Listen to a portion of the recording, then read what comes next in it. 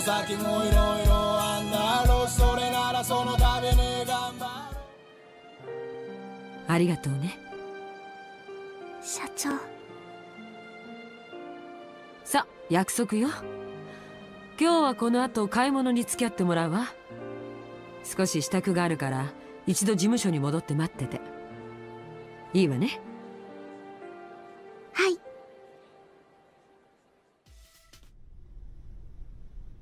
はあはるか。公演のイベントは大変だったみたいですね。でもどんどん成長していますよ。あなたには教えがいがある。前のトレーナーもきっと悔しがりますね。レッスンをしたければいつでもスタジオにいらっしゃい。それじゃ。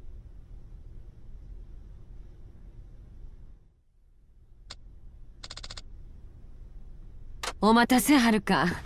悪いけど少しここで待ってて。いくつか片付けたいことがあるの。すぐ済むわ。明日東京に行く予定なのよ。だから堀江にいろいろメモを残しとかないと。でもメモって社長左手で？ええ荻田に突き飛ばされたでしょ。あの時右手を痛めちゃったからね。大丈夫なんですか？右手使えなくて。まあね。私もともとは左利きだったの。子供の頃預けられた里親にちゃんと右手で書くようにって結構無理やりしつけられてね。今時の子はそこまでやらされないんでしょうけど。まそういう時代だったんでしょうね。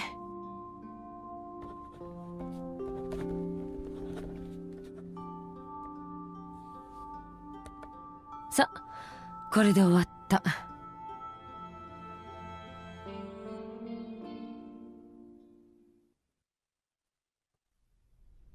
待たせて悪かったわね。今夜の予定は全部キャンセルしたわ。あなたはもう出かけられる？準備はいい？はい大丈夫です。なら行きましょう。毎日大変だったしストレスも溜まってるでしょ？今日は買い物に行って全部発散させるのよいいわね。はい。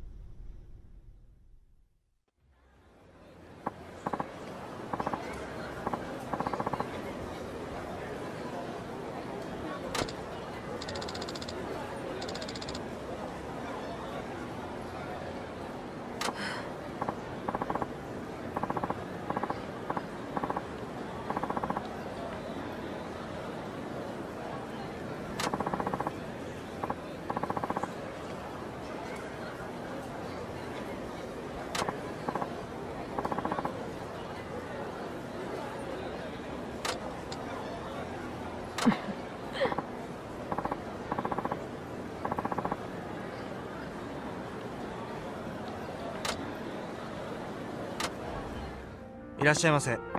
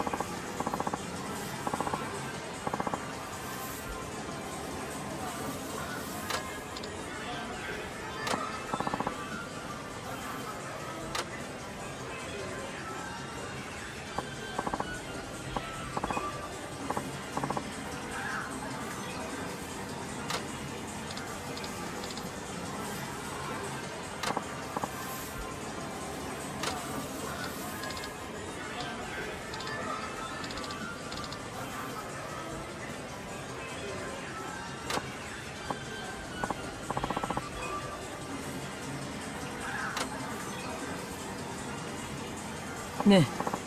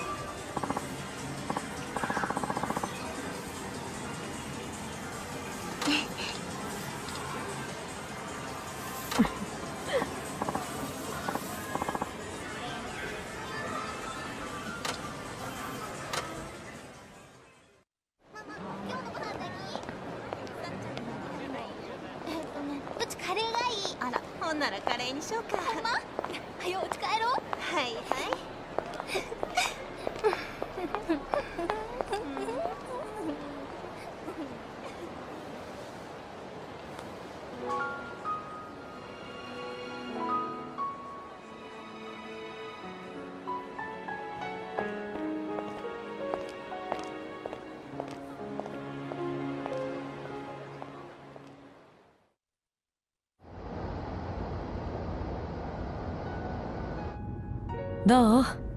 少しは息抜きできた？はいとっても。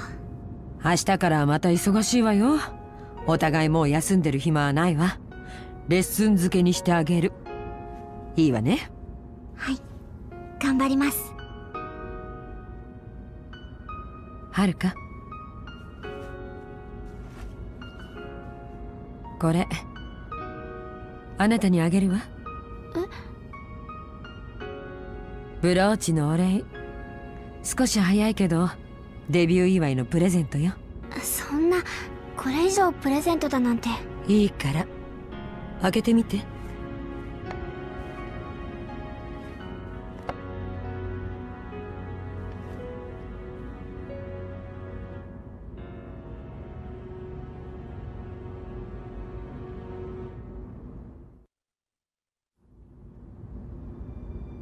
これ社長が使ってたこんな高そうなものいいんですか？高そうじゃなくて高いの。大事にしなさいよね。大事にします。その万年筆はね私がデビューするって決まった時大切な人からもらったものなの。私にとってはお守りみたいなものデビューの時もマイクに隠してずっと両手で握ってたんだから。やっぱり社長でもデビューの時は緊張したんですね。今思えば大したことじゃなかったわ。もっと大変なのはデビューした後。私の場合特に大変だったわね。どんな風にですか？私はね18でデビューする前には結婚してたの。え？相手はその万年筆をくれた人よ。もちろん世間にもそれに事務所にも内緒でね。私は自分が韓国籍であることも家庭に問題があったこともそれに既婚者であることも隠してアイドルを続けた。案外うまくいってたわでもある日私は自分が妊娠していることに気づいた。すぐに下ろしたわ。当時はあまり迷いはなかった。まだ若かったしアイドルを続けるためには仕方のない犠牲だって思ったの。夫に打ち明けたのはその後。彼その時初めて私を殴った。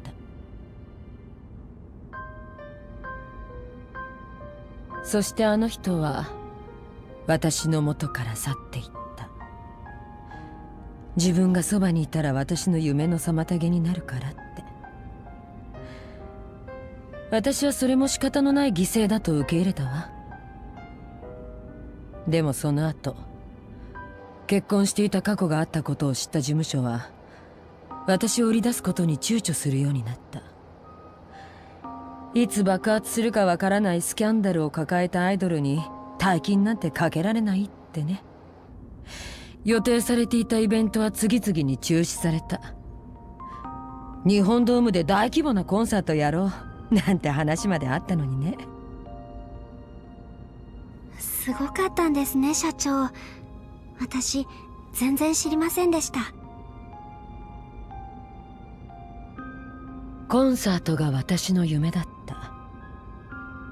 コンサートをすれば自分を捨てた親や世間を見返せると思ってた。収容人数5万5千人。親にも愛されなかった私にしては上出来な数でしょ。別れた旦那もコンサートをすれば見に来てくれるかも。なんて考えてねでも現実には事務所には見放されてコンサートどころか仕事はどんどん減っていったわ。後にはもう何も残らなかった。自分がもう子供を産めない体だと知ったのも全てを失ってからだったわ。そんなことが。スターを夢見て犠牲にしてしまった過去への償い？それが今私がアイドルを育てようとしている理由なのかもね。もしかしたら失ったものを取り戻そうとあがいてるだけなのかもしれない。でももう私にはこれしかないの。あなたには迷惑かもしれないけどね。迷惑だなんて。私社長のためにも頑張ります。ありがとう。でもあなたのおかげで私も失っていたものを少しだけ取り戻せたかもしれないの。え？この前プリンセスリーグであなたの決勝進出が決まってから雑誌の取材を受けたのよ。それを目にした元夫から。この手紙が来たの。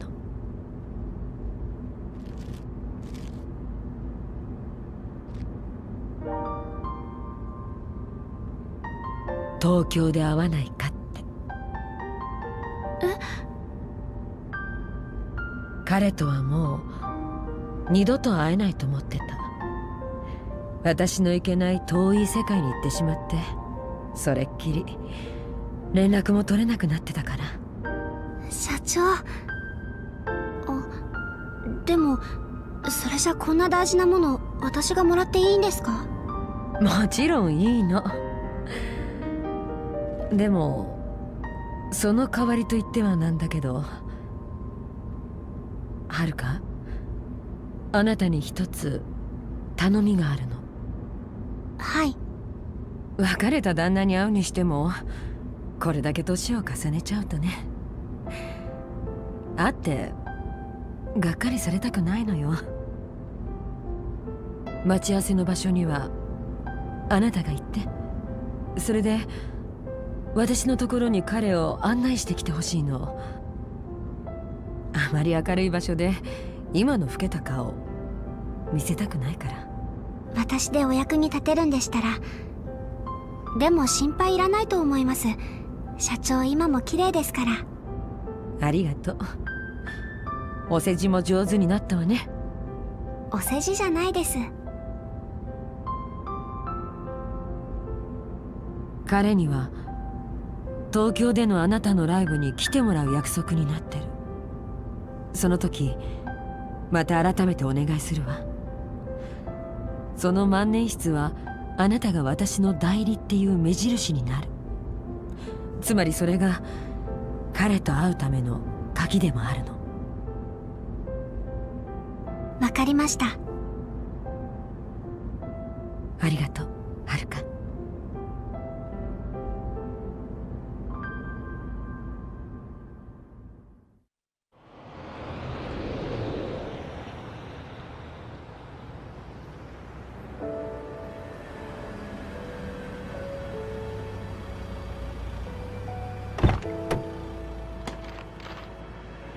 今日は私も楽しかったわ。